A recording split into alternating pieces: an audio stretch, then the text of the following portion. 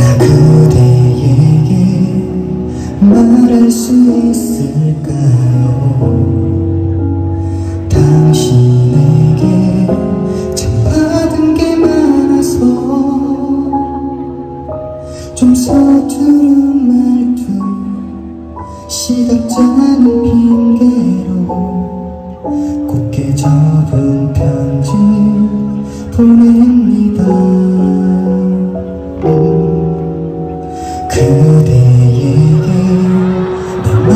예전일까요? 아직 당신께 못한 말이 많아서